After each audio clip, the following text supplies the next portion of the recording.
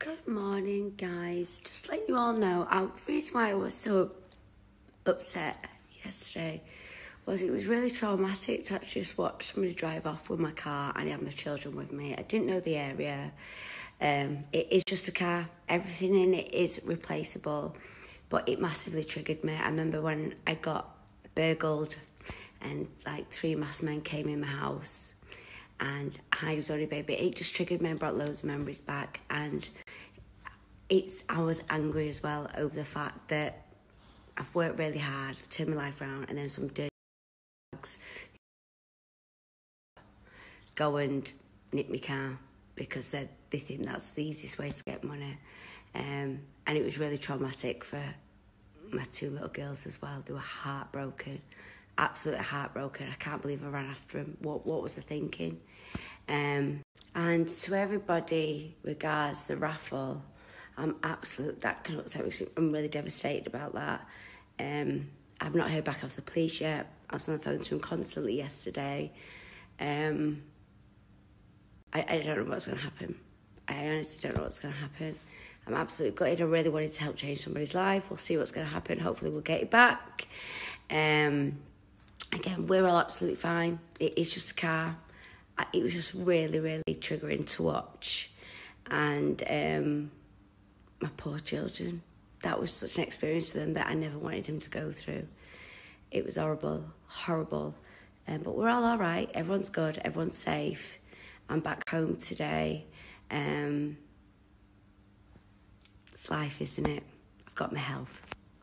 And in this day and age, after everything that's gone on with the hashtag be kind, um, I still can't believe some of the nasty comments that people go around saying.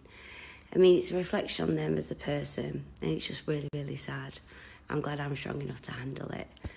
And um, a massive, massive, massive thank you to everybody who has been so supportive, so kind, so nice. It's just my little girls. I mean, Heidi is absolutely traumatized. Trauma. It was horrible. We literally watched. I had my key wasn't stolen. My key was in my pocket. My key hasn't been stolen. Apparently, the police said it's really common. Um, if it's a fob cat car, then they have something that they can deactivate it and start your car up. So apparently, it's happening quite a lot with 4x4s. So the papers are saying that my key got taken out my pocket. It never, my key was in my hand. I was literally walking out of JD with DJ and Heidi, and I've looked up, my car was literally in my eye line, and I saw the, the brake lights come on. And I was like, what, what's going on? And I've just got my car, I just started running after my car, but my key was in my pocket, it was in my hand.